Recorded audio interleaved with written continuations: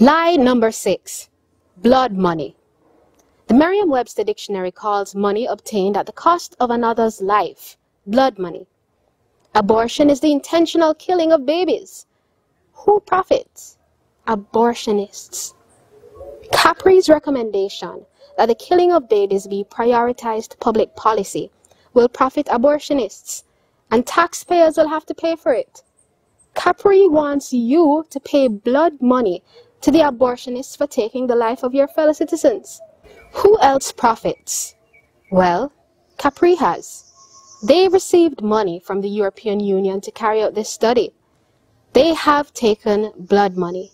In fact, their study shows a before-the-fact commitment to justify abortions at all costs.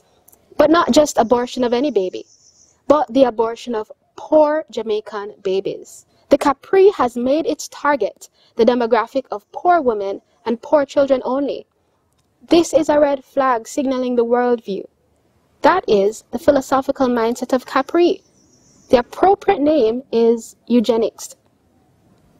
Capri has made itself a voice piece for this most vile ideology, the classist and racist belief that some babies are more valuable and superior than other babies. Eugenics dictates that inferior babies should not be conceived, and if they are, they should be aborted. Eugenics says that inferior babies are the babies of poor girls and women, or so-called unplanned, unwanted babies. Eugenicists argue that the poor should use birth control and if it fails, follow up with abortion. The truth is, eugenicists don't want to eliminate poverty. They just want to eliminate the poor.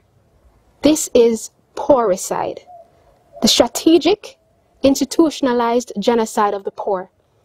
It is interesting to note that the lead researcher in this Capri study is Sarah Maria Virri, a researcher from the EU.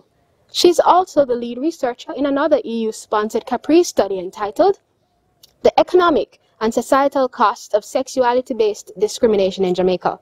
Another study full of flawed arguments, distorted definitions, and bad conclusions. We don't know Miss Virri, but what we do want to know is what exactly is the role and aim of the EU in the propagation of these two studies. Is this another platform for white Europe to get poor black nations to destroy themselves? Is this another example of cultural imperialism, the imposition of foreign ideology and the culture of death that the EU itself is dying from? We don't want it. We want to preserve life. Who else profits? sexual predators, pimps, traffickers, whose abuse and crime will be covered up thanks to Capri, and fathers who want to escape responsibility. Capri places sole responsibility for childbearing and rearing on the mother, silence on the role of the father. Who will not profit from abortion? The poor, vulnerable woman who Capri says it wants to help out of poverty. No poor woman ever became wealthy by killing her children. Abortion would make her poorer from the various physical and emotional harms caused by abortion. Abortion stands for eugenics. Abortion stands for racism and anti-womanhood.